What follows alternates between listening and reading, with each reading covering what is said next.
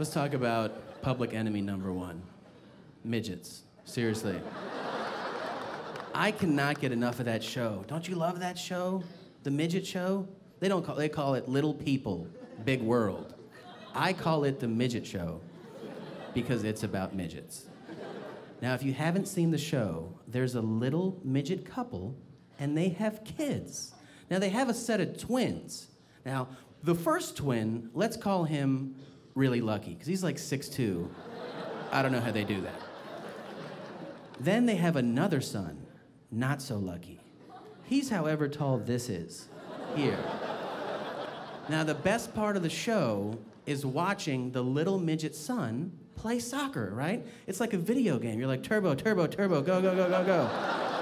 And you don't see legs. You're like, is that a ball? No, that's him. And he's amazing. But here's the thing I feel so guilty every time I watch that show because I'll eat a box of Keebler Elf cookies and they're delicious. And so are midgets. Midgets are edible. Did you know that? No, you didn't. Next time you see a midget, bite him in the face. Here's something I did not know I did not know that midgets hate to be called midgets. I didn't know that. I did know that. I don't care. They're midgets. Like, we're not to do anything, you know, like. I've had some bad, like, exchanges with midgets, okay? First of all, they're always in a bad mood, okay? They're all.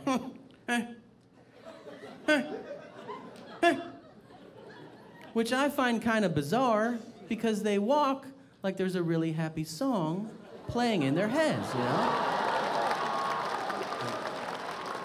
What's the problem, dude? So, I'm doing a show in Arizona a few weeks ago. I'm talking to somebody like at human height, like up here after the show. And the midget comes up behind me and, you know, he wants to talk, so he. and I have a bruised hamstring to prove this, okay? So I know he's there, but I want him to have fun, and I want to have fun too. So I start to go like, you know, like. And he's like, I know you can fucking see me. I know you can fucking see me. So then I go, Does Santa know you're here? Right? Now he's very upset at this point, and he starts to lecture me. You know, he goes, You know, you shouldn't say midget. You shouldn't say midget. You should say little people. You shouldn't say midget. And I'm like, Why not? And he goes, Cause Saying midget is like saying nigger. And I was like, Whoa. First of all, we're both white. And if somebody hears you, I'm not protecting you.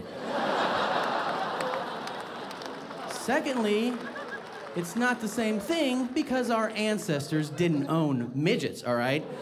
Not unless they won some crazy high stakes poker game that was like, I'm going all in, plus the court jesters. And you're like, pair of kings, I'm fucked. Now, I wish they did.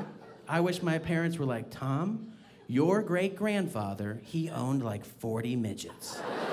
Because I'd be like, get the fuck out of here. Do we still get them? And if we did, I would take my midgets and I would put little bowls on their heads. And I would fill them with different types of dip and salsa. And I would have them walk around so I could scoop out whatever I felt like eating. Want some hummus? Get the fuck over here. You guys were a lot of fun. Thanks a lot. Have a great night.